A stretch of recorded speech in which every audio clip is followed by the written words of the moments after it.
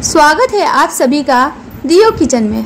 आज हम बनाने जा रहे हैं बचे हुए चावल से फ्राइड राइस। ओके?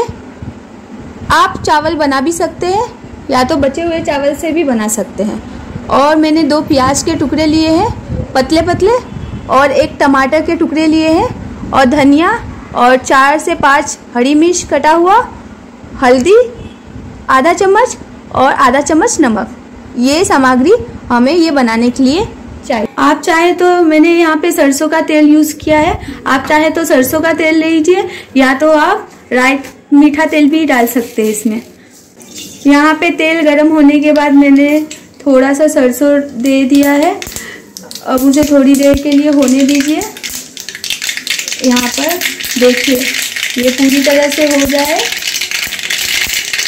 तो अब इसमें मैं, अब इसमें हरी मिर्च डाल दूँगी। मेरा ये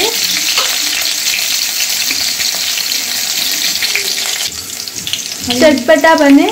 अभी इसमें मैंने प्याज डाल दिए हैं। दो कटे हुए, बारीक कटे हुए प्याज। अब इसे अच्छे तरह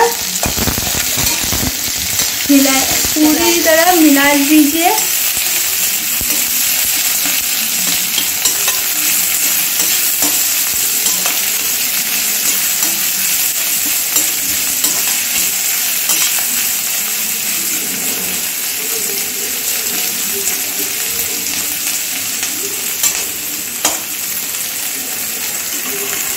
देखिए दोस्तों, सुनहरा कलर आ गया है।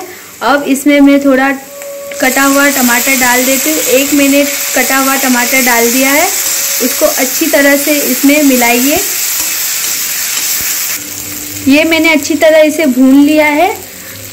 अब देखिए, मैं इसमें चावल गिराने वाली हूँ। ये मैंने चावल गिरा दिया है। अब ये मैं चावल को अच्छी तरह से मिक्स कर लूँगी सारे को। अच्छी तरह से मिला लिया है मैंने।